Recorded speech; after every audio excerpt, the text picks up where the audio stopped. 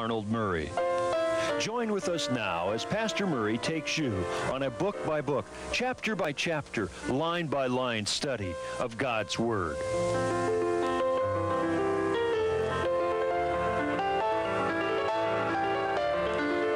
Now, here is Pastor Murray.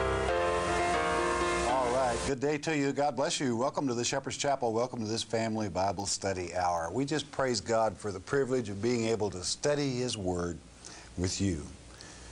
You know, man's word sometimes can be reassuring, comforting, but then you've always got to go double check it out in God's Word, so why not just stay in the Word and have the assurity that you're on the right track? That's the way I feel about it, and that's why we have the format of teaching chapter by chapter and letting our Father speak rather than man. I think it has its dividends that we reap from following that format. I thank Him for that privilege in Jesus' precious name. Amen. We continue our study in the last lecture on Antichrist documented.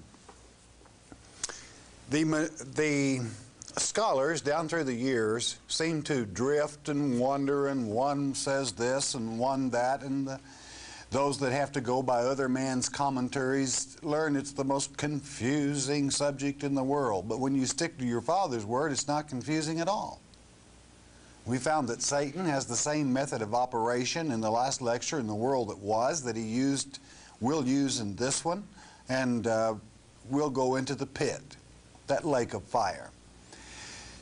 How precious the Word of God. Now, we know that Antichrist uh, is Satan, but how do you document that? A lot of people say, well, it's this man or it's that man, and there's where they're going to be deceived. They're looking for a mortal man for Satan to enter into. When Satan comes to this earth, he won't need a body to enter into. He's coming in his own.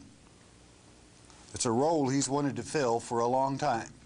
He was in this earth uh, at various times before Christ uh, prohibited him from traveling to this earth. His spirit's here, basically, evil spirits.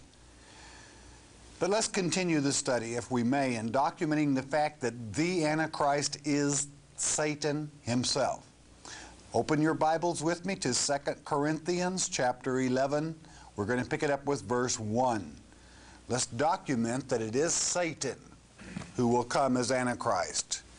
2 Corinthians 11, verse 1, and it reads, Would to God you could bear with me a little in my folly, and indeed bear with me. What Paul is really saying here, and it loses it in the translation, I'm going to boast a little bit. I don't like to boast. It embarrasses me to brag on myself. But I want you to listen, and I want you to listen good, is what he said. Verse 2 For I am jealous over you with godly jealousy. In other words, he had brought them into Christianity, and he was jealous over them that they would go wrong. For I have espoused you to one husband.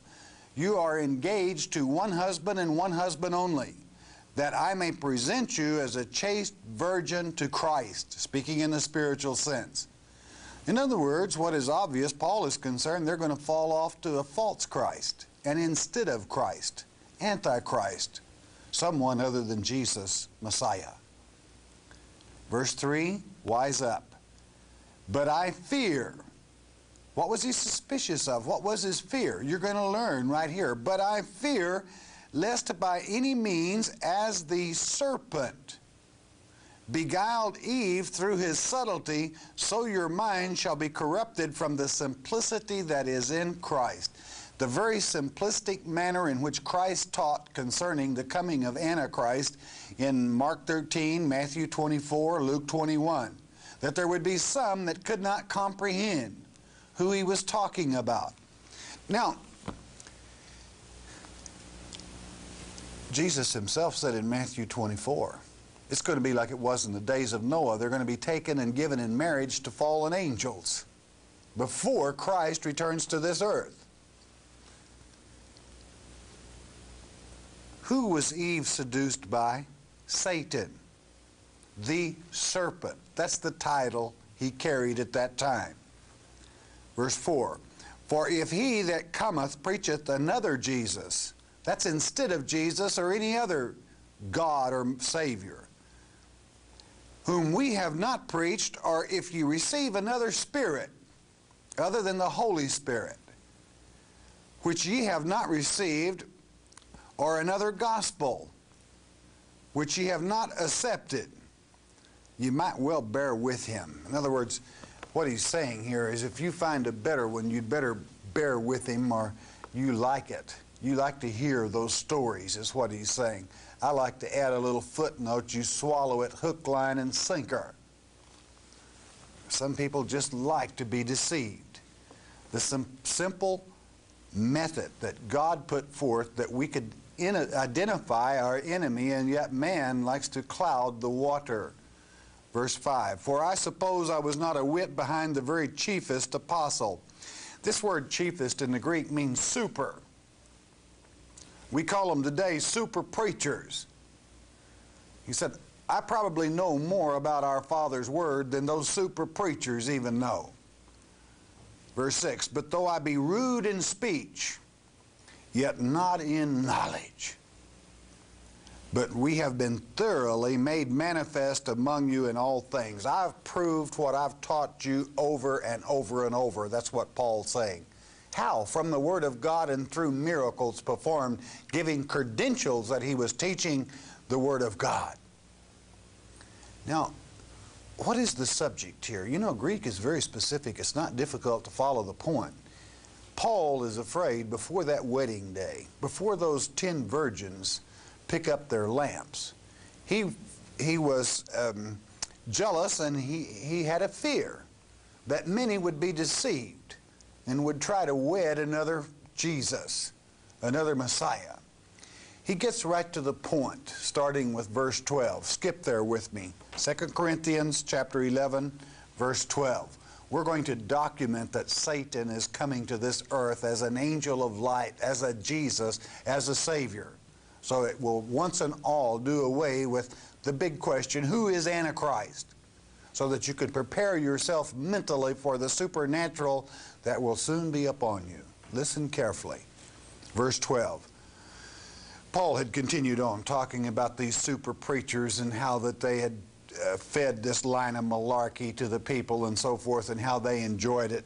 Paul continues on then, but what I do, that I will do, that I may cut off occasion. And I'm going to pull the rug right out from under them. That's what I'm going to do, Paul said. Um, from them which desire occasion, when anytime they're ready for it that wherein they glory. In other words, what he's saying, the main thing they do it for is their own glory anyway, or finances, money. They're not doing it for the Father, not for the reasons Paul did. That uh, they may be found even as we. In other words, check them over real close. Make sure they're not in it for their own glory, but they do it as Paul did. Paul never took, he didn't take anything from the church. Unfortunately, the super preachers do. 13. Now sharpen up for me. For such are false apostles. That means, what is an apostle, first of all, so you don't get all worked up here and, not, and miss the point. An apostle, it means one sent forth of God. They are false, sent forth from God people. God didn't send them, in other words. Deceitful workers. What is a deceitful worker? One that deceives the people that don't know any better. Transforming themselves into apostles of Christ. Do you know what this word transforming formed is in the Greek? It's disguising themselves. Do you understand a disguise like a wolf in sheep's clothing? 14, now you listen if you ever listen to a verse of Scripture in your life.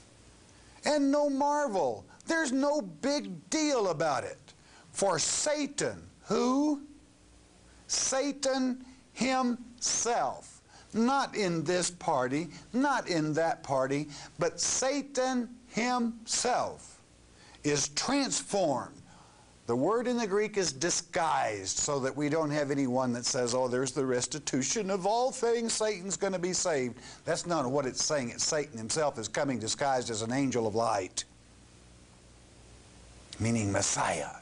Only it's instead of Jesus. Now, if you want to know who the Antichrist is, you'd better get your ears on. And you'd better listen to your Father's Word and stop listening to these piddling little would-be scholars of God's Word that would lead you astray and participate in the deceit that has come upon the world at this time. And understand who Antichrist is. Satan himself 15. Therefore it is no great thing if his ministers, that's his seed, the Kenites, and those would-be great scholars they push forth upon the people, also be transformed or disguised as the ministers of righteousness, whose end shall be according to their works, who in the end it shall be according to their works. They're going to hell for misleading people. Doom and deception will be their own lot. That's what it really says. 16, I say again, let no man think me a fool, if otherwise, yet as a fool receive me. In other words, Paul was bragging. He says, I'm better than they are. I have more knowledge than they do. I know who Antichrist is. It's Satan himself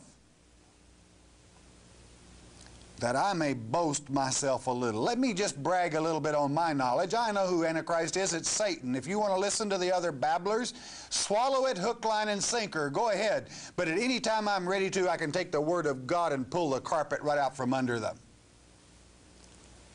17.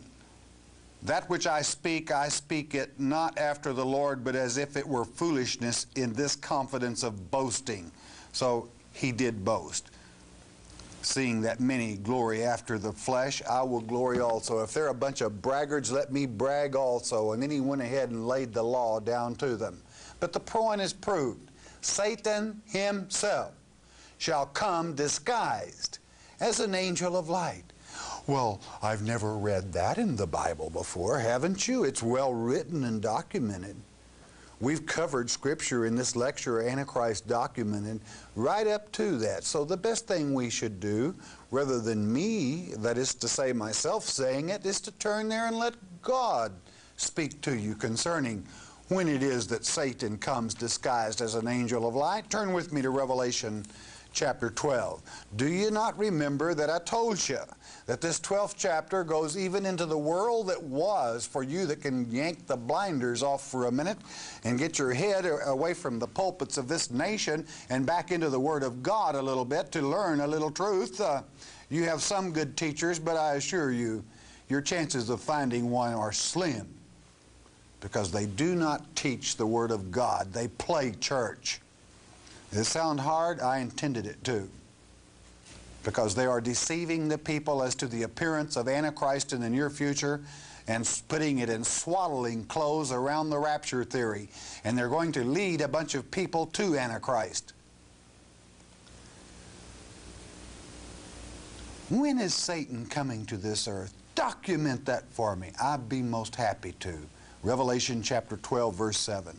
And there was Remember, we're just about to reach the end of this earth age, just before the millennium. And there was war in heaven. Not on earth, friends, in heaven. Michael and his angels fought against the dragon, and the dragon fought and his angels. Now remember, Satan uses names which are titles that gives you the role he is playing, whereby, in a prophetic sense, you know what to be on guard against when he appears. So sharpen up and learn from your Father's Word. 8. And prevail not. Satan lost. Neither was their place found any more in heaven. In other words, Satan was no longer allowed in paradise. He couldn't go as he did even back in Job's time, Job's time and appear before the throne of God with the, his little angels and the others. 9. And the great dragon was cast out. Do you understand? The great dragon was cast out from heaven, the same old dragon of Revelation 13 that deceives the world and heals the wound to the one world beast system. The old great dragon, which is the devil himself. Document that, I'll be happy to. Read on. And the great dragon was cast out, that old serpent. The serpent was the role that he played in the garden in the seduction of Eve.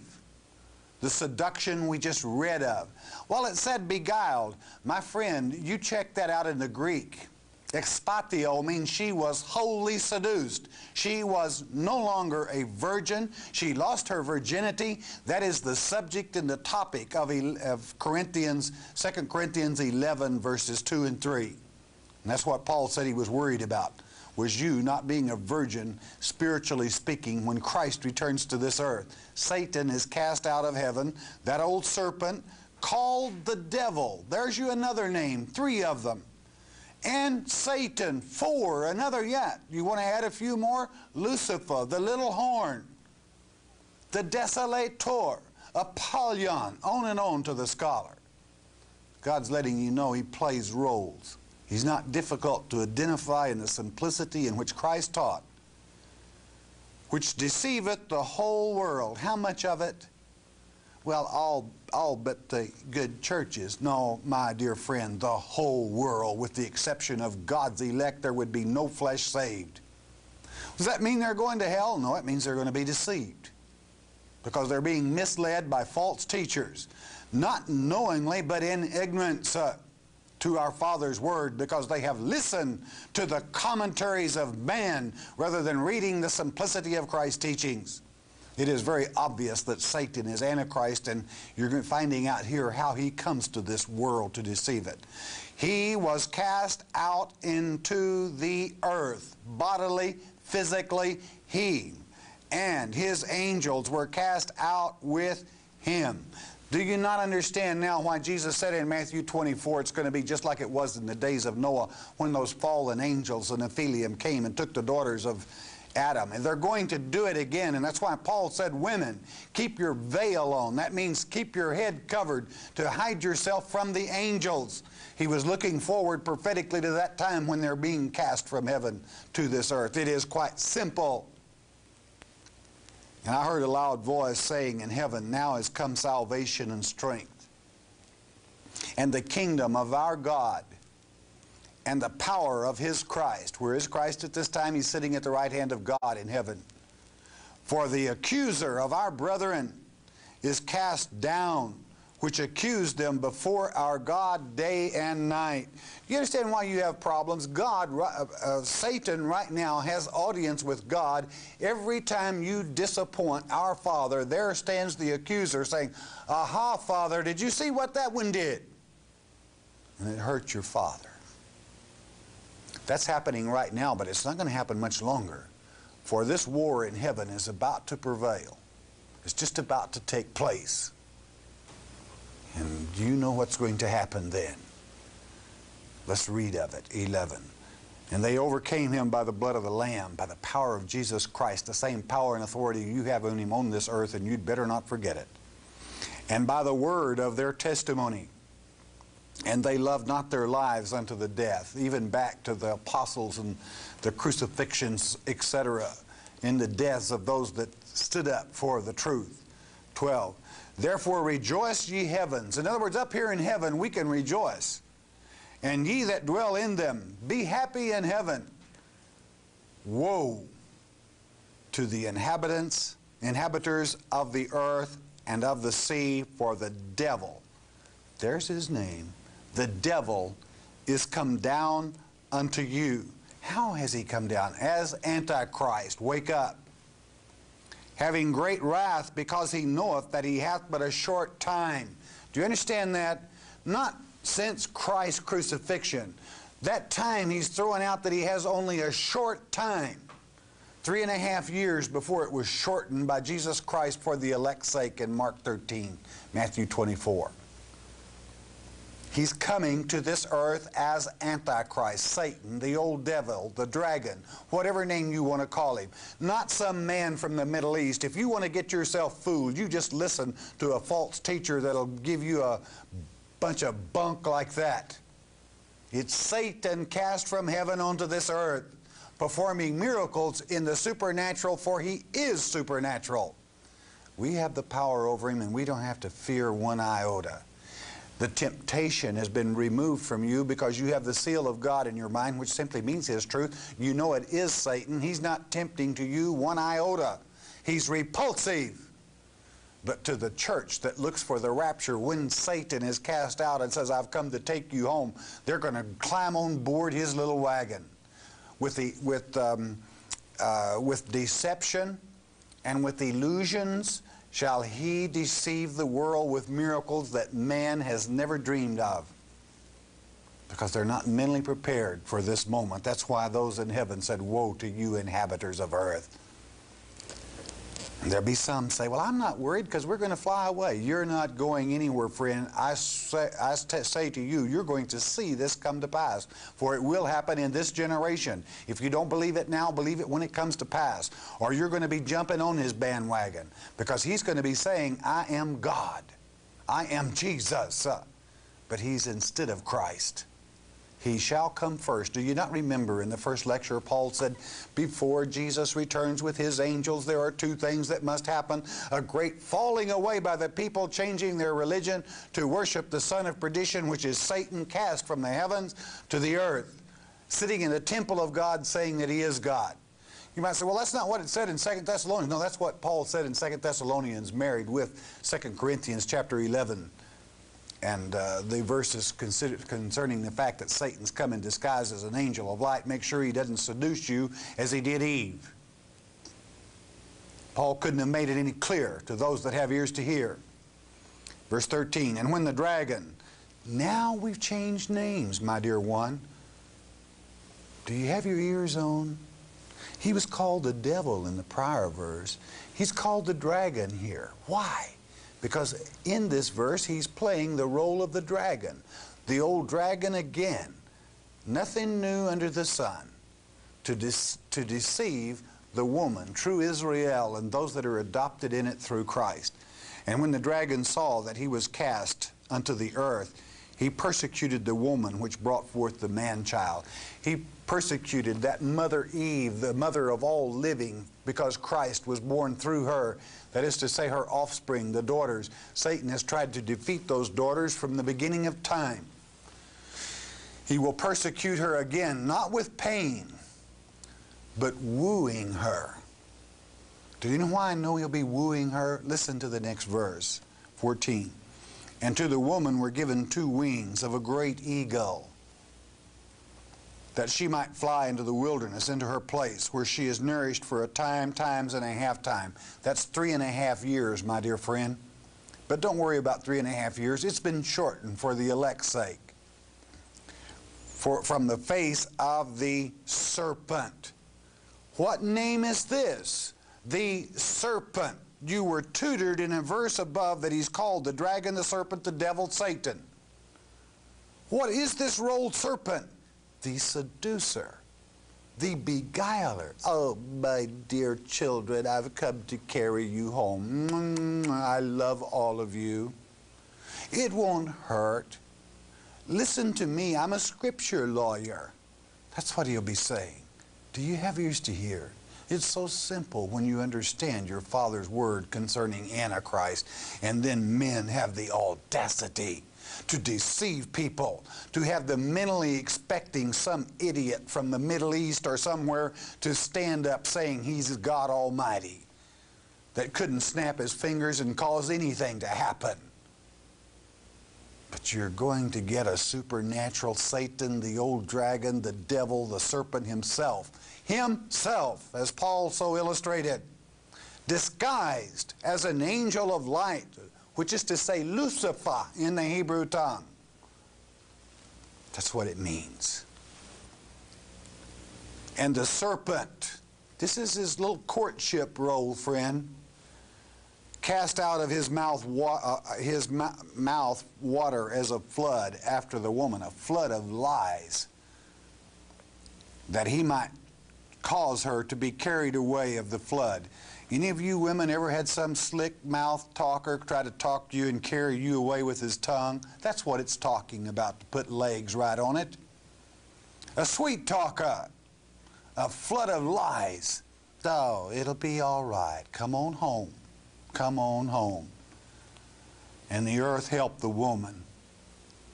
And the earth opened her mouth and swallowed up the flood which the dragon cast out of his mouth. Don't forget, we're going to have two witnesses that control the rain at the time this takes place. Do you understand? And the dragon was wroth with the woman and went to make war with the remnant of her seed. There's only a very small remnant that even is going will know what's happening at this time. Do you have ears to hear and do you have a destiny? Which keep the commandments of God. They're not deceived and they don't listen to the super preachers that are false prophets. They listen to the Word of God and His commandments and have the testimony of Jesus Christ. What is the testimony of Jesus Christ? Turn to Mark 13. Let's, let us hear what Jesus has to say about uh, the, the, His coming and how it shall be, whether or not there will be an Antichrist and uh, who He is. Mark 13, Jesus has taught here, he has said, they said, what's it going to be like just before you return? He said, don't let any man deceive you because the Antichrist is coming first. There'll be false preachers coming in Christ's name saying, I'm Christ's preacher. Christ anointed me. Christ ordained me. I am a, ordained from a Christ church, a Christ ministry, and they are nothing but liars and deceived from the word themselves because they cannot understand the simplicity of the teachings of Christ as it flows from the Word when it is formulated in the manner in which He intended it. And He told him, He said, Don't you worry, there's going to be rumors of wars and wars, but when you hear of peace, then worry. What Jesus does, He gives seven truths in this chapter concerning His return. One that He gave after declaring you're going to be delivered up to him. He's going to woo you, try to convert you. You're not to premeditate what you will say before that hour, but what is given you will be the Holy Spirit speaking through you. The example of that tongue spoken on Pentecost Day, that sample exam, um, explained by Joel the prophet that the sons and the daughters would bring forth after the locust army, Satan's army, the Apollyon, the dragon, the serpent, the seducer was loosed upon this earth. That's what Joel was talking about. And people call it babble and trouble and deceive people by the multitudes, the millions and the thousands, and call it religion. It is a lie. It is a false teaching. And at the same time, those that would wrap up and deceive people into a flyaway thing when it is not written in God's Word. We must make that stand, for these events shall transpire. What did Jesus say? A warning given you in the 14th verse of this 13th chapter of Mark. Friend, this is not my words. These are the words of Jesus. Listen to them. But when you shall see the abomination of desolation, spoken of by Daniel the prophet, standing where it ought not. Moffatt translates this, he ought not, because he is a scholar of the Hebrew. It does not say desolation in Daniel. It says the desolator, Satan himself, come in the form of Antichrist. The desolator, standing where he ought not. Where is that? In the cities of Jerusalem, in the temple of God, showing the world that he is God, claiming to be God. Let him that readeth understand. You that have ears to hear, sharpen up. That's what Jesus means. Then let them that be in Judea flee to the mountains. Where is Judea? That's the state in which Jerusalem lies, so that you know the geographical location. And let him that is on the housetop not go down into the house, neither enter therein to take anything out of his house. If you're a watchman on top and you see Antichrist appear, you won't need a change of clothes, friend. It's over. And let him that is in the field not turn back again for to take up his garment. You won't need a change of clothes. But woe to them that are with child and to them that give suck in those days. That means those that, as Paul feared, will be seduced by the instead of Jesus rather than remaining virgins and pure when the true Christ returns. It is so simple. It is, uh, and to them that give suck in those days, that means even nursing along the work of Satan and at the same time calling themselves Christians. There's just one fact. There are a bunch of Christians that have taken part in the apostasy, the falling away, and are worshiping and instead of Jesus, instead of Jesus. They're instead of Christians because they've been led and deceived. 18. And pray you that your flight be not in the winter. The harvest is the summer, not winter. It's a cold winter day when Satan uh, is cast from heaven. 19, I'm not speaking literally, but spiritually. For in those days shall be affliction. This is tribulation. This is Antichrist tribulation, and you're going to be here. Not God's tribulation, Antichrist tribulation, such as was not from the beginning of the creation which God created unto this time, neither shall be. Never will there be a time of deception because of Satan himself released upon the people to deceive them. And except that the Lord had shortened those days, no flesh, underline it, no flesh should be saved but for the elect's sake, whom he hath chosen, not volunteered, he hath chosen from even the conflict that was, if you will. He has shortened the days. That time is shortened, and that's why no one can know the day or hour. Not a three and a half year period. Verse 21. And then if any man, this is Jesus speaking, and then if any man shall say to you, Lo, here is Christ, or Lo, he is there, believe him not. When they tell you that Christ has returned to Jerusalem and you're still in this chunk of meat, this flesh body, the seventh trump hasn't sounded and Christ will not have returned to this earth. And he's a fake, that one that calls himself Christ. Friend, I didn't say that. Jesus did. Satan himself disguised as, instead of Jesus, an angel of light, come to bring peace to the world. And he shall. It'll be very difficult to speak against. Christ then continues to say, for false Christs, plural, yes, because him and his false ministers and the ones that already teach the falsehood and ignorance and false prophets shall rise. Did he say maybe? No, he said shall. In other words, the Antichrist will appear before Jesus does and shall show signs and wonders to seduce, if it were possible, even the elect. Are you ready for it? A very short season. It's going to happen. But take ye heed, behold, I have foretold you all things. I want real quickly to turn one more scripture in closing. Daniel. Those of you that have not studied the book of Daniel with me, acquire the tapes on the book of Daniel or catch it on television as it is being retaught.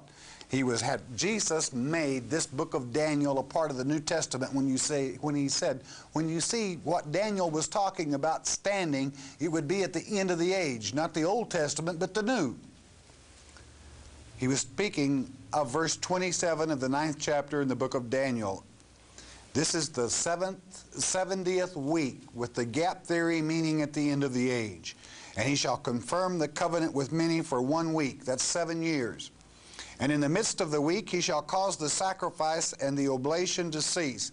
That's the daily offering. Our Holy Communion will cease in the middle of that because people will think that Christ has returned and they will be taking communion with instead of Jesus.